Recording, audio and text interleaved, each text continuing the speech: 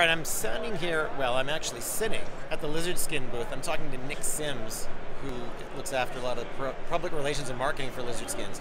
But the interesting thing about this show is my part of my ongoing conversation with people or in the industry, in the know, Interbike.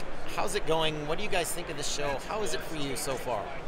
Or well, we're we're day one. I mean, the booth's full, so that's that's a good sign.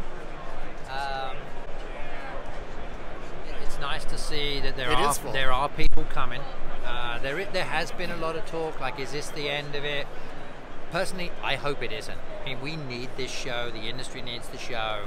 Uh, it's a great chance to showcase products, brands, and I mean, we're all in the industry because we love it. So this is a great way to sort of meet and reacquaint ourselves with friends like you and that yeah. sort of stuff. And if it goes away, when are we going to do that? We just get so much done when we're actually having conversations, re- sitting beside each other, looking at each other, talking to each other, versus trying to get stuff done on email, which is how the world. I get it. The world works that way. We're all used to it. But I personally, as an old school guy, I don't think it's that efficient. I right. think we get a lot more done when we're doing stuff like this. Yeah, right? because we, we get to connect you with you and to show you the product, and then you suddenly you're like, oh, we're thinking about doing this. I hadn't seen that, and it is. To your point, it's a great way to kind of connect out with what you're working. I mean, you just you know we just saw it yeah. right then, right? With Charles yeah, yeah. came in like. Charles is putting together another one of his fantastic project bikes.